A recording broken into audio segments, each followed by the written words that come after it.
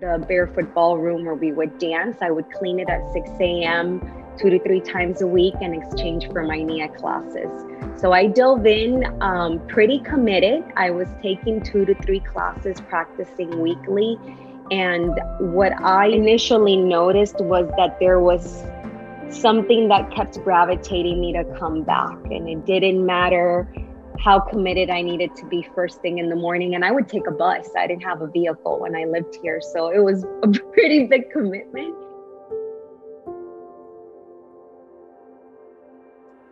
Hello, everybody. My name is Christina May Wolf, and I am your host for the NIA Dancing Through Life Community Spotlight. This series is an opportunity to share the stories and the people within the global NIA community Today, I'm joined by my colleague and friend, Valerie Sanchez. Valerie is a Nia brown belt teacher who lives in Honolulu, Hawaii, and has been practicing Nia for the past 10 years. Valerie brings a light and a passion uh, to the Nia community, and I'm so grateful to have her here today. Welcome, Valerie. I am so glad that you're here. Aloha. Aloha. Thank you. Mahalo nui loa. So, Valerie, I can't even remember exactly when we first got connected, but I remember once we finally connected on social media, I just fell in love with your light, your presence, and your obvious passion for NIA and specifically NIA community. So, would you share with all of us your NIA story? Yes, definitely. Um, and actually, I think we might have connected because I was trying to take a NIA Blue Belt training with Britta in Centralia. And that That's kind right. of kick-started the journey. That's that. right. yes. Um, so my NIA journey, in short, I was living in Honolulu I was working for a startup media company, and uh, they, there was a new center that was going to be opening up in March 2011. Uh, the name of the center is Still and Moving Center. Maybe some of you have uh, visited this center before here in Hawaii um, with Renee Tillotson, who's the director and the owner, uh, also a NIA second degree black belt teacher. And basically, I walked in for the media preview. I had no idea what I was walking into. It was very interesting that the invitation was not directed to the publication, it was directed specifically to Valerie. And that threw me off because it was never directly to Valerie. Uh, but we showed up. I showed up with a writer, a photographer, and Renee offered a 15 minute demo of Nia. And my initial response was, What is that? what is that? But I'm curious. And curiosity was really the hook for me when we left. Um, they gave us little packages, and within the packages, there were five complimentary classes, and I chose to use them all to dive deeper to discover what this Nia thing was about. And um, five classes later, here I am. And I've never looked back. Don't think I will either. So that's mm. how hmm. my journey got started. Wow. And so, how long you got your five complimentary classes? It had you hooked. and then, what yeah. did your practice look like after that? How often did you attend classes? And what did you begin to notice shift or change in your body or your life at that time? That was actually where the revelation for me occurred. Something happened in those five classes where I realized that I was creating a commitment that I didn't really sign up for, that I didn't know I needed in my life. Um, the classes here in, in Hawaii tend to be quite pricey. And I was working for a startup company. So I was kind of on the entrepreneurial journey, and um, funds were limited for extracurricular activities. And so I proposed to Renee, and then we worked out some things in exchange. So I would clean the center, um, the pretty much the center, the ball, the barefoot ballroom where we would dance. I would clean it at 6 a.m.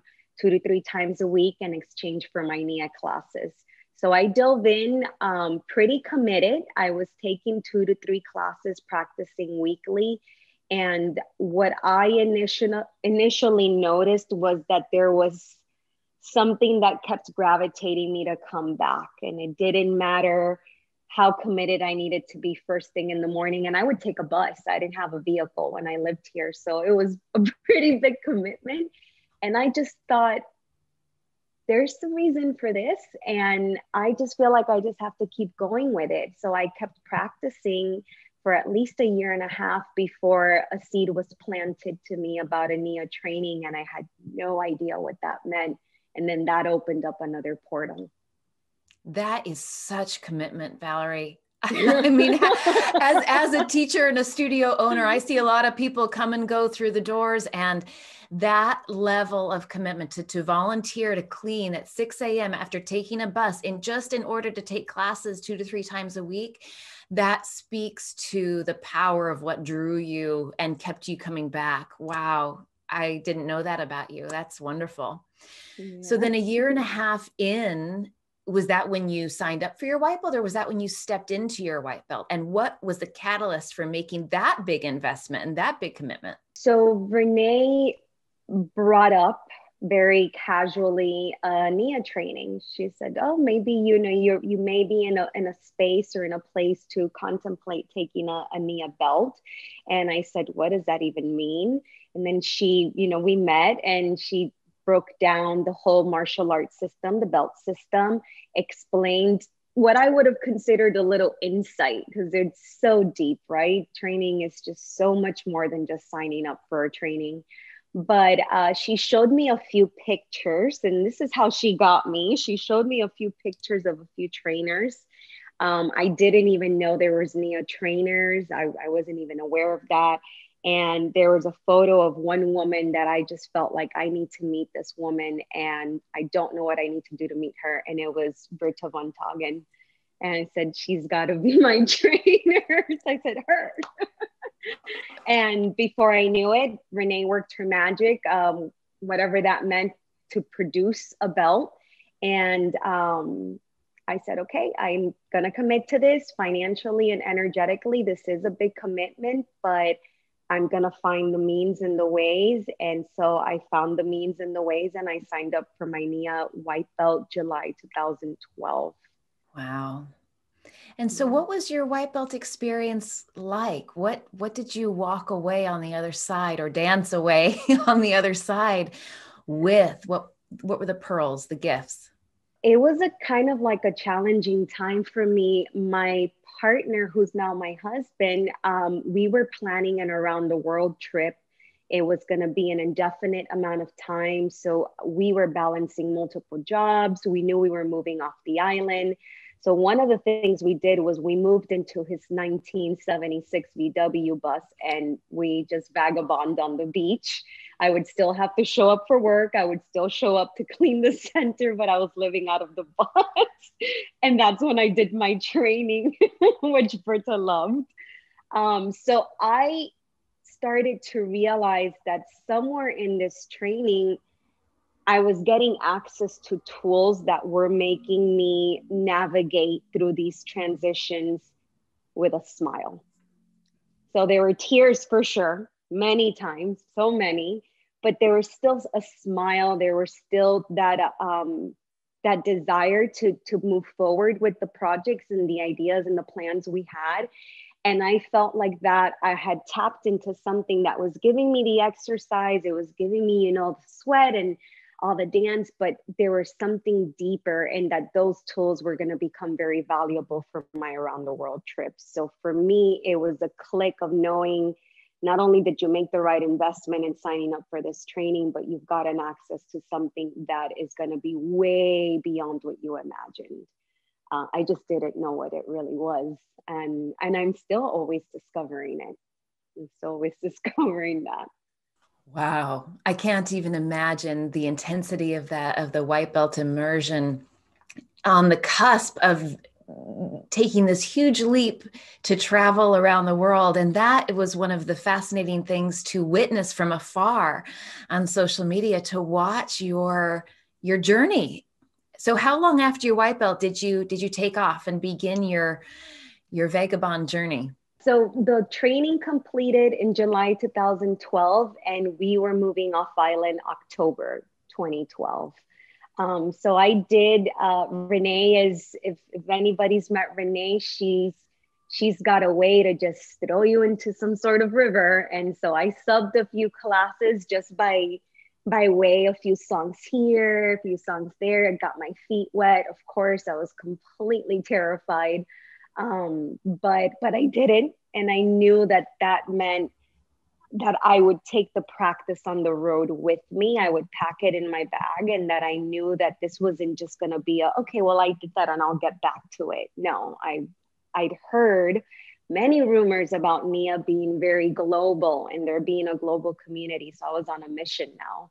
Um, so it was about three to four months after when I took off. And in those three to four months, you you were practicing teaching. Yeah, yeah. lots of teddy and- bear moments. and then and then as you began to travel and and travel and see the world, but also visit NIA communities around the world. What did you experience? What did you learn in each community? And what pieces did you find were constant as you visited NIA communities throughout the world? And what, what did you find was unique? Well, there, there's the key word unique. I definitely was, um, it was very affirmative to see style, uniqueness, um, the approach of teachers and communities themselves. They were very varied, they were diverse, which I loved. Um, and they all had their own flavor, their own, their own. I knew that there were certain classes I could go take, and I was going to come out of there feeling like a sassy lady. And then i knew there was other classes that i would go into and i knew i was going to drop a lot of tears on their floor. Like it was amazing to be able to find um, different variations of the medicine. What i felt was very continuous was the thread of the promise. I i never felt out of I, I never felt like i encountered a class that was out of nia's promise or commitment to having the space and the permission to take care of yourself and whatever that meant that day and in that moment in time.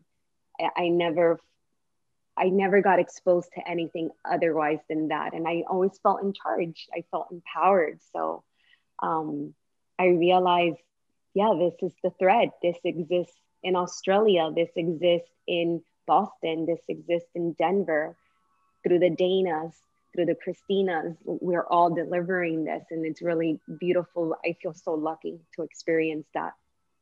Valerie, when did you begin your teaching journey in earnest? Did, did you were you able to teach along the road as you traveled, or did you establish your teaching when you when you landed back home? I did some teaching. It was um, it was very sporadic. I did some teaching in Australia so I have to say that I truly felt that after the white belt, I was um, I was taken under the wing of NIA Australia for about a year. I was there close to the year, 11 and a half months um, on a travel visa.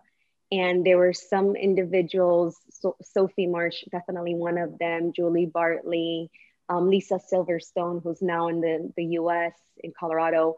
They were friends dancers mentors and they would often encourage me to pop in teach a class. And so i cultivated with NIA australia quite a bit. I offered some classes like spin off while i was traveling through thailand and bali. Um, but i really feel like i started my teaching practice when i got back so i, I jumped right in november 2014 my trip um, concluded basically at the two year mark. Um, and then I just started teaching. I moved to Tallahassee, Florida. That's where my alma mater is at. I went to Florida State University, and that's when I jumped back in and haven't looked back either.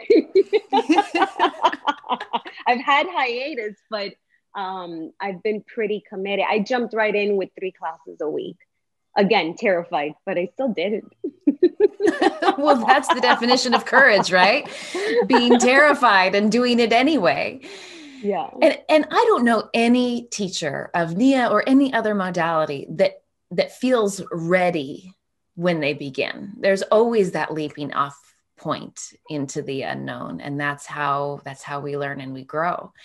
So were all of the classes that you started teaching classic NIA classes at that point? Yes. Yeah. Okay. Yeah. And then when did you create Groove and Wellness, your your company uh, and and it, correct me if i'm wrong but the focus of groove and wellness is is not only offering uh, nia but also really providing resources and support for businesses and a little more corporate environment to bring health and wellness. Is that is that right? Yes yes. Okay. You said it beautifully. I'm gonna record you. So when did you create Groove and Wellness and what was the inspiration to make that connection? That's a that's a, a unique application of NIA. Yes. So for for me, I officially um, birthed or the idea it came to its fruition in 2016 and it really took more momentum in 2017 after i had done some traveling around the us for nia as well um, and basically, for me, I was looking for something that would bridge what I consider to be soft, hippie, soulful Val with more of the corporate um, business side of me. And it was kind of like an identity thing. It, it was an identity initiative. And I felt there has to be other people out there that can resonate with this message of it's, you know, you can be this more yang, um, you could be very dedicated to your career and your profession. And yet, what tools and resources are we using to nourish ourselves, to take care of ourselves so that we can show up and be the best that we can be um, wherever we are in life? So that's really what initiated Groove and Wellness. Well, and you embody that balance of yin and yang and form and freedom so beautifully in your own teaching and practice. And to be able to bring that to people who who, who might not have ever walked into a NIA class otherwise, that's really powerful. What has been your what have been your biggest challenges as a nia teacher? And maybe even specifically in in bridging that that gap or reaching new people in new environments with nia so in my in i feel in my teaching practice it has been the um, the act of starting from scratch um, building community from scratch because of uh, my lifestyle and some of the paths that i've taken that have um, involved picking up and moving, picking up and moving, or, you know, being more transition in transition. So I feel that has been challenging, but it also has been what has helped me grow my toughest skin. I, I feel. Um, I attribute my, oh, well, if it was just me who showed up, that's cool. If 100 people showed up, that's great. I'm still committed. I'm still going to deliver. I'm still going to plan. I'm still going to project um, for Groove and Wellness is taking off hats and then putting on other hats, knowing how to speak to, um, and I'm always learning how how to relay the message of Nia, how to relay the message even more so of that of just health and wellness in in a corporate realm or corporate environment is challenging. It's definitely challenging. And geographically, demographically, it makes a difference too. Yeah, some markets could probably be a little tougher than others. In some places, people are more ripe and ready. Um, in others, that's a foreign concept. Absolutely. Well, and I, I feel like there's nobody better to take on those challenges uh, since you do have the lens into into the world into the corporate world having worked in marketing and you've got the skills of marketing and communications. Um, you you do it so beautifully even though i know sometimes it can be challenging. Well, for sure. 100% so valerie what brings you the most joy at, at, in your nia practice or as a nia teacher or both mm, yeah on both ends when i tap into so from my student practice when I exercise my right and permission to be authentic, to be myself, whatever that could look like, whether it looks messy and scary or beautiful and graceful. And the same is true when I see that in the students. I, I just think that is that's where the juice is at. That's um, that's what makes us feel better. At least I, from my standpoint, I feel like that's when I step out from that experience. I'm a different person. mm-hmm. Yeah, it brings me a lot of joy to see that, to witness mm-hmm. it. Well, it's so powerful to not only have the step into your own permission and empowerment of being your full authentic self, but to then create and hold the space for others to do the same is just magical. Uh, I think that I can share. You are expecting uh, a, a, little one on the on the way. So you're 33 weeks along. Is that correct? Yeah. yeah so that, that third trimester is here. there. and you are radiant and and beautiful and and as someone who also danced and taught nia through my pregnancy i would love if you're willing to share what it's what it's been like in in dancing through your your pregnancy I did my Nia Brown Belt with Debbie. It was extremely intentional to sign up for it in August of 2020. I knew that the, I, I had been planting that seed for nearly four to five years. And I was so excited to go to headquarters. I thought I was going to Portland. I was so ready because after the brown belt, I was going to start planting the seed for the baby. and, you know, the universe, God, Goddess, all that is, uh, said no, there's different plans. So I found out of my pregnancy about like one or two weeks into the Nia Brown Belt as I was taking it online. And I just thought, whoa, this was this was supposed to happen this way. So I really feel that has um, taken the training with Debbie and more specifically to take it around the fundamentals of working with energy and um, observing in myself, who's usually a pretty energetic person by nature, um, the humbleness that comes with creating life and, and circulating life force in an optimal way. Um, it was the best thing that could have happened to me. So I kept teaching. I actually took on more classes. Um, I just felt like I, I was lucky. I, I, consider myself lucky. I didn't have too much um, of the symptoms that would put me in bed the whole day. Uh, so I definitely honored my body as much as I can. And I have danced every day pretty much or every other day up until the 33 weeks. And I feel this has been the moment that I have called into my tools and my resource box the most, the most, the most, the most. I'm grateful that this platform of taking the NIA training online um, happened the way it did because now I've been revisiting a lot of the content on my own. So I'm still practicing my practice and I'm teaching for the next two to three weeks. And I feel really good. I feel my best after Nia. I really, really do.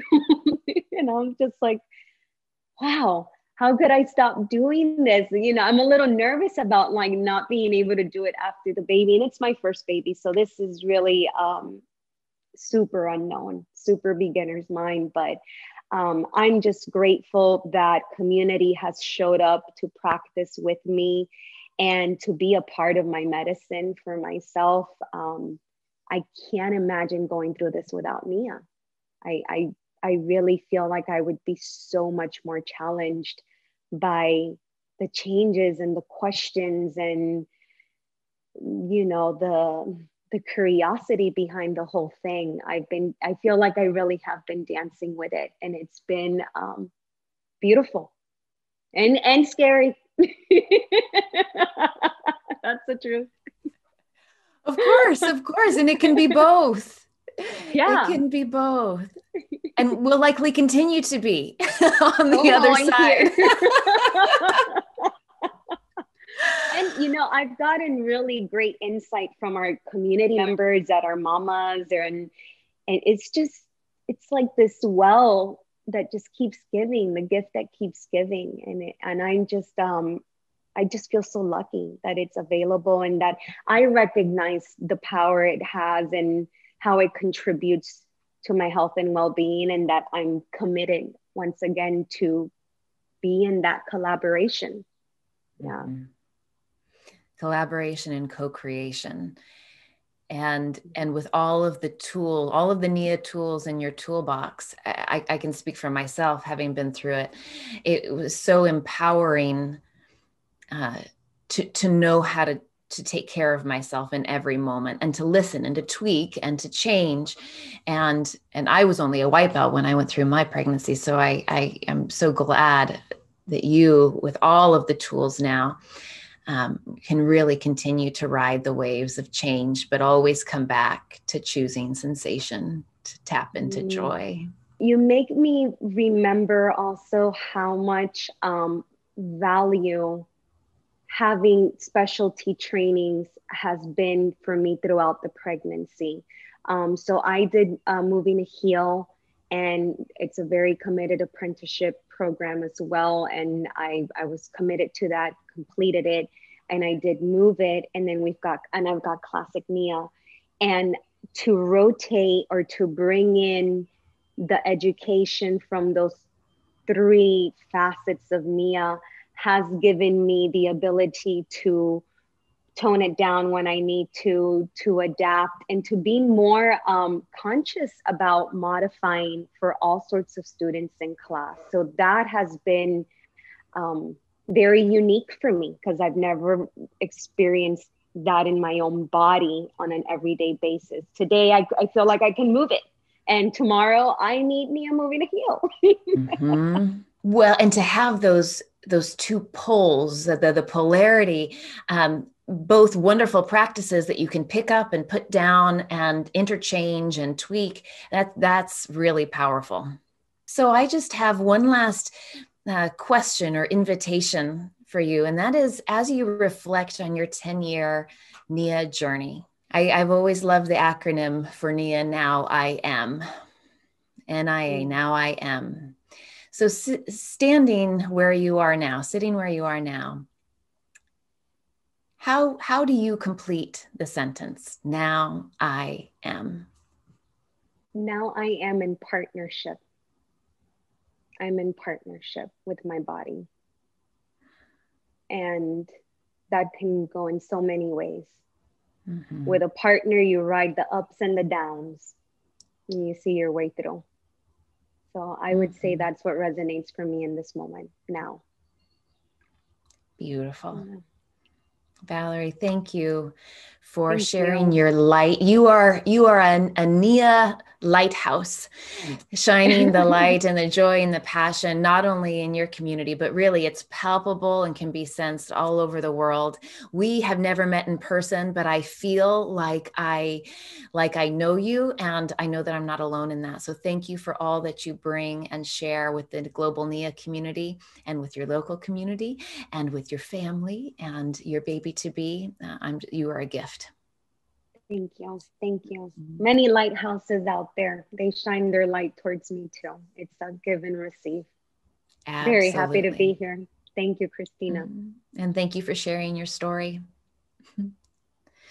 and thank you all for watching this month's Dancing Through Life. We'll see you next time.